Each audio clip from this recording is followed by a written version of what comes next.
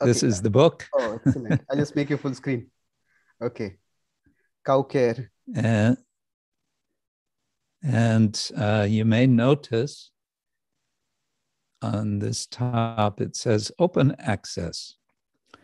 Um, open access means that it's available for anyone and everyone to download digital copy uh, free of charge. Uh, so we can provide the link. Yes, Maharaj, we'll do that. Definitely. And anyone can legally download the book. Um, this is then uh, counted um, by the publisher, Palgrave Macmillan. Uh, this is part of a series, animal ethics series of uh, the publisher Palgrave Macmillan. And um, they register each download, which means that we keep informed how many how many people download the book. So up to now, it is over 41,000 uh, downloads. That's huge. Since it was published in the beginning of last year. Oh. Yeah, the number has slowed. In the beginning, it was uh, the numbers were going up rather quickly, and now it's slowed, but still. Uh, how academic, I came to write? Sorry, for an academic book, 41 for academic publishers book, 41k is a significant download, isn't it? Um. Yeah, it's pretty good. okay. some books, some academic books, uh, you can be happy if you sell 300 copies. yes, right. So yeah, I think this this is a very good strategy. You had mentioned to me that you know you got some sponsorship for the book, and that's how they gave the free access. So that's a, in one sense in today's world, getting a physical copy is not that easy in different parts of the world. It becomes expensive. Yeah. So this free access yeah. sounds like a very good good strategy that can be used in general whenever possible. Do all publishers yes. allow this, Maharaj, or it's only for some publishers?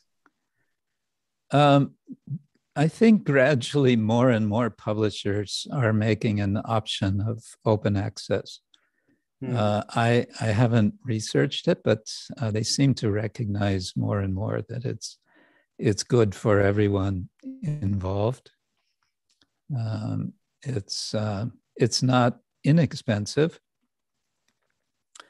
um, but um, I was encouraged by devotees, by friends, uh, to do an, a fundraising, you know, crowdfunding sort of thing. And it was successful, so it was possible to do.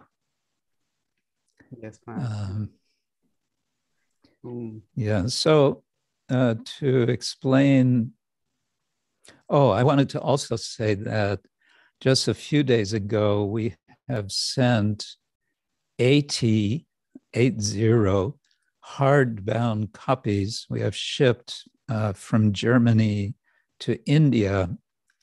And um, this was sponsored by one devotee of the Chowpatty Yatra. Oh. Um, and we're going to be sending these as complimentary uh, co- copies to various academic institutions, to particular individuals, professors, and uh, various scholars. Okay.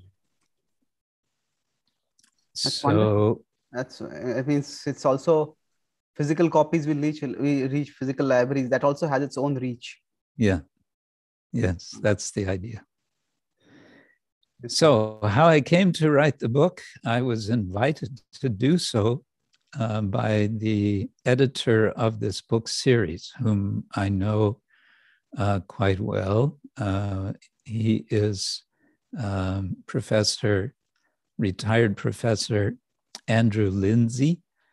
Uh, he is the head of the director of the Oxford Center for Animal Ethics.